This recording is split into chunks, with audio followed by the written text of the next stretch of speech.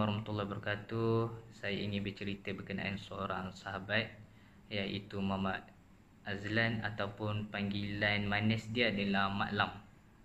Okey, dia ni adalah seorang yang suka beri pendapat, seorang yang suka taburkan idea dan boleh dikatakan dia juga seorang yang sangat kreatif lah dia dia sangat senang untuk memberi kerjasama apabila kita buat program, apabila kita buat majlis sebab dia akan cakap apa apa-apa pendapat yang dia rasa tu baik. Dan saya pun pernah uh, sepanjang mengenali beliau, saya pernah berbincangan dia dengan leader dia iaitu Puan Muzaina.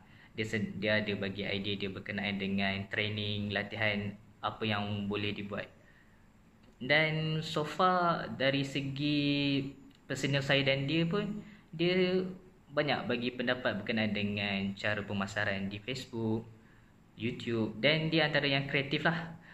Dia masa tempoh PKP antara cara yang dia buat untuk cari pelanggan adalah melalui uh, YouTube. Uh, dan anak dia pun turut serta kreatif. Ada ada channel YouTube lagi. Jadi uh, dia seorang ejen yang boleh saya cakap sini lah dan saya perlu belajar banyak perkara dengan dia. Okey itu saja.